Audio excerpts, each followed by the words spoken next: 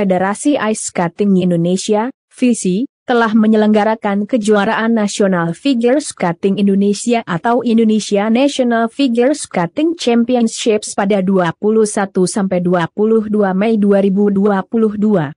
Kali ini, yang menjadi venue sekaligus tuan rumah perhelatan bergengsi ini adalah BX Clinic, Bintaro Jaya Ice Skating Ring.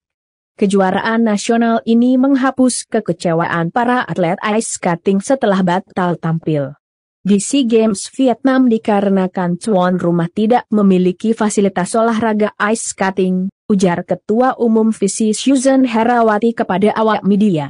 Kejurnas ini diikuti oleh 101 atlet nasional dari enam provinsi di Indonesia, dan terdapat pula tambahan atlet dari negara tetangga yakni Filipina, sedangkan kategori pertandingan antara lain Basic Starlet, Starlet, Preliminary, Open Elementary Open, Basic Novice, Intermediate, Elite Junior Ladies dan Men, Elite Senior Men dan Ladies.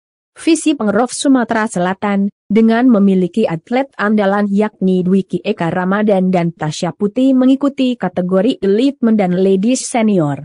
Hasil membanggakan ini ditorahkan dua atlet ice skating dari Provinsi Sumsel mendapatkan juara perolehan satu medali emas dan satu medali perak. Dwiki Eka Ramadan mendapatkan satu medali emas dalam kategori senior men dan satu medali perak diraih oleh Tasya Putri dalam kategori senior ladies.